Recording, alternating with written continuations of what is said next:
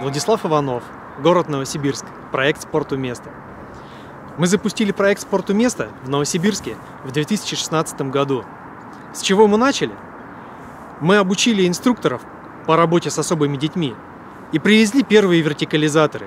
А уже через месяц ребенок с ДЦП начал заниматься горными лыжами.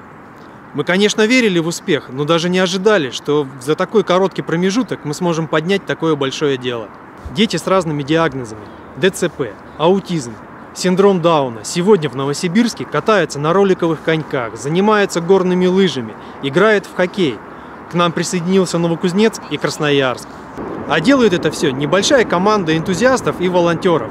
В награду нам улыбки детей, благодарности родителей и спортсменов. Мы рассказываем о себе на сайте спортуместо.ру. Кстати, он стал лауреатом фестиваля социальных интернет-ресурсов в номинации «Спорт равных возможностей».